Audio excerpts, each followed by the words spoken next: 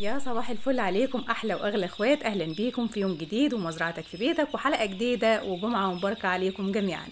والنهاردة عندنا حلقة سريعة ولكن قبل ما نبدأ كالعادة انزلوا حالا ال comment صلوا على الحبيب المصطفى. اللهم صل وسلم وبارك عليك يا حبيبي يا رسول الله. ما تنسوش كمان توصلوا الفيديو ده ل1000 like. والنهاردة عاوزه أتكلم معاكم على جزئية مهمة جدا. النهارده بتضر المربي الصغير وهي جودة الأعلاف. اللي حضراتكم بتشتغلوا بيها ليه؟ لأن النهارده في السوق أعلاف كتير مضروبة جدا من حيث تركيبة العلف نفسها. يعني مصنعة من الآخر كده تحت بير السلم بدون رقابة. مفيش فيها أي حاجة يا جماعة. نسبة البروتين اللي فيها تكاد تكون معدومة. ودي معمولة مخصوص للعبوات الصغيرة للتربية المنزلية. فنصيحة مني ما تشتغلوش بالعبوات الصغيرة يا جماعة اللي هي العشرة كيلو والحاجات اللي ملهاش اسم. في السوق دي بلاش تشتغلوا بيها ايا كانت. ما تبصوش بقى على إن هي بتبقى رخيصة شوية أو عبوات صغيرة. فحضراتكم كأهالي أو كتربية منزلية صغيرة الناس اللي بتربي 20 كتكوت 30 كتكوت 50 كتكوت الحاجات دي بيبدأوا يجيبوا اللي هي العبوات الصغيرة. العبوات الصغيرة دي يا جماعة ما فيش فيها نسبة بروتين اللي المفروض تكون فيها سموم عالية جدا معمولة بدون رقابة معمولة يعني مش عاوزة أتكلم كتير في الحتة دي ولكن المهم إن حضراتكم بلاش تشتغلوا بالعبوات الصغيرة دي أي حاجة ملهاش ماركة ملهاش اسم حضرتك ما تشتغلش بيها. طيب دي جزئية. الجزئية التانية بقى والمهمة جدا اللي هي الأعلاف المنتهية الصلاحية. يعني شركات كبيرة وكل حاجة ولها اسم معروف في السوق ولكن اتخزنت عند التجار بشكل خاطئ.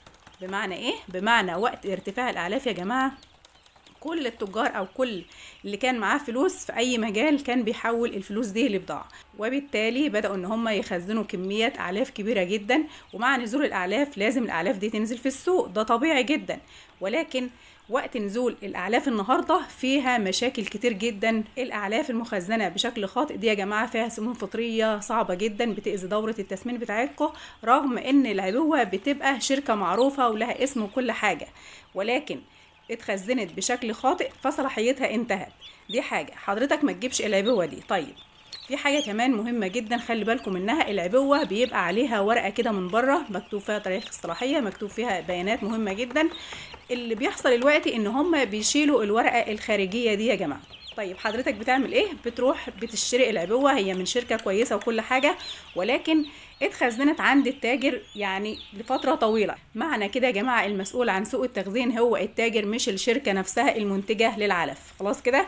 يبقى مهم قوي إن أنت تشوف تاريخ الصلاحية. جالي كمان اتصال امبارح من أختنا بتقول إن هي اشترت العلف وبعد ما فتحت العبوة لقت فيها سوس حي ماشي يا جماعة. متخيلين وصلنا لدرجة إيه؟ طيب لما جات تبص في الورقة اللي هي بتبقى داخل العبوه طبعا منتهيه الصلاحيه يعني حاجة صعبة جدا. الأعلاف دي هتعمل سموم فطرية هتموت الفراخ بتاعتك وأنت مش هتبقى عارف إيه السبب. دي حاجة. الحاجة التانية مهم جدا إن أنت تشتري من مكان موثوق فيه يعني مكان بيبقى شغال على طول مكان مش بتتركن عنده الحاجة فاهمين قصدي؟ طيب إخواتنا بقى اللي بيقولوا لي رشحي لنا أي شركة سمر نشتغل بيها. بص يا جماعة الشركات كلها كويسة جدا ولكن مهم جدا إن أنت تبص على تاريخ الصلاحية. ايا كان بقى أنت جايبها منين لازم تبص على تاريخ الصلاحية وده من حقك. لو فتحت العبوة لقيت الريحة متغيرة أي حاجة فيها متغيرة دي من حقك إن أنت بترجعها ومش بتستلمها وده حقك الطبيعي كمستهلك. خلاص كده؟ طيب تعالوا النهارده بقى نشوف أسعار الكتاكيت طبعا النهارده الجمعة والأسعار النهارده زيها زي امبارح يعني النهارده اللي عنده كتكوت قطاعي بيبيعوا بسعر امبارح. تعالوا نشوف الأسعار كده النهارده. ما تنسوش الصلاة على الحبيب المصطفى. طبعا بكرة السبت إن شاء الله هنلاقي أسعار مختلفة تماما في الكتاكيت. استنوا بكرة إن شاء الله حلقة هتلاقوا فيها أسعار مختلفة تماما. البط البلدي أرض المزرعة 130 جنيه والمحلات 140 جنيه للكيلو. المسكوفي أرض المزرعة 120 والمحلات 130 جنيه للكيلو. المولر أرض المزرعة 110 والمحلات 120 جنيه للكيلو. الفرنساوي أرض المزرعة 100 جنيه والمحلات 110 جنيه للكيلو. البيكيني أرض المزرعة 90 جنيه والمحلات 100 جنيه للكيلو. الروم البلد الأسود أرض المزرعة 130 والمحلات 140 جنيه للكيلو الروم الأبيض أرض المزرعة 120 والمحلات 130 جنيه للكيلو. الأرنب أرض المزرعة 105 والمحلات 115 جنيه للمستهلك. الحمام البلدي أرض المزرعة 120 والمحلات 130 جنيه للجوز. ارتفاع البلدي أرض المزرعة 125 والمحلات 135 جنيه للكيلو. الفيوم والرز أرض المزرعة 117 والمحلات 127 جنيه للكيلو. أما عن الساسو النهاردة أرض المزرعة 107 والمحلات 115 جنيه للكيلو. أبيض بياض أرض المزرعة 68 والمحلات 78 جنيه للكيلو. أمهات الفراخ البيضة الهبرد الكبيرة أرض المزرعة 79 والمحلات 89 جنيه للكيلو أمهات الساسو أرض المزرعة 85 والمحلات 95 جنيه للكيلو.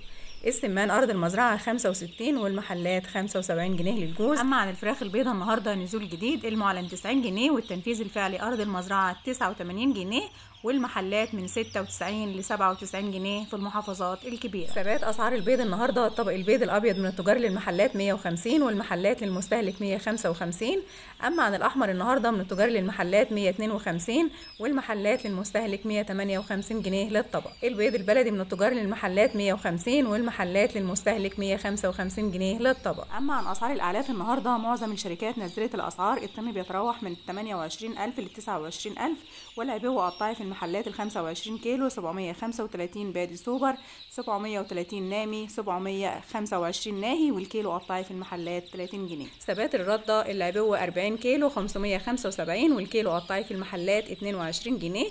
ادي النهاردة ثبات العبوة 25 كيلو 625 والكيلو قطعي في المحلات 27 جنيه. نزول أسعار الذرة النهاردة العبوة 25 كيلو 415 جنيه والكيلو قطعي في المحلات 18 جنيه. المكرونة العبوة 10 كيلو 300 جنيه والكيلو قطعي في المحلات 33 جنيه. رز بلدي عريض النهارده نزول 785 ال 25 كيلو والكيلو قطعي في المحلات 32 جنيه. رز بلدي رفيع 735 والكيلو قطعي في المحلات 31 جنيه.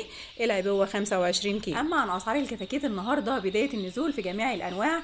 مهم جدا جودة الكتكوت اللي حضراتكم بتشتغلوا بيه. إخواتنا المبتدئين مهم قوي الجودة للكتكوت اللي أنتوا بتستلموه لازم يكون مطابق للمواصفات الصحيحة اللي حضراتكم تشتغلوا بيها. مهم قوي مصدر الكتكوت مهم وزن الكتكوت يكون مظبوط مهم نشاط وطاقة الكتكوت والحيوية ومهم كمان درجات الحرارة اللي حضرتك بتشتغل بيها. إن شاء الله تعدي معاك على خير. كمبتدئ البط الشرفان 20 جنيه البط المسكوفي 45 جنيه مسكوفي مخلط 35 مسكوفي ذكور 50 جنيه ال pure 28 الفرنساوي 26 والمولر 35 جنيه رز فرز ديوك 15 جنيه رز برابر 13 جنيه رز على وشه 14 جنيه بلدي حر 6 جنيه والهجين العالي النهارده 10 جنيه فيوم بلدي 8 جنيه. والجميزة ال pure 15 جنيه بلدي مشعر 9 جنيه والساسو من 13 ل 14 جنيه. أما عن الكتكوت الأبيض الأهالي النهارده واللي سعره نزل بادئ من ال 29 ل 30 جنيه قطاعي والشركات بادئ من ال 31 ل 34 جنيه على حسب الشركة. الروم البرونز النهارده 41 جنيه رومي بلدي أسمر 48 جنيه والسمان بادئ من 5 ل 10 على حسب العمر. دي كانت الحلقة النهارده. لو لسه مش مشتركين بجد معانا هيفوتكم كتير. شكرا لكل اخواتنا من مصر شكرا لكل اخواتنا من الدول العربية. بحبكم جدا في الله. استنونا في حلقة جديدة. تحياتي للجميع.